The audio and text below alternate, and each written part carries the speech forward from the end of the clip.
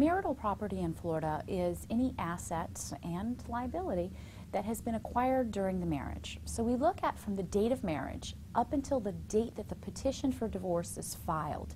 And any asset or liability acquired during that period of time is considered marital.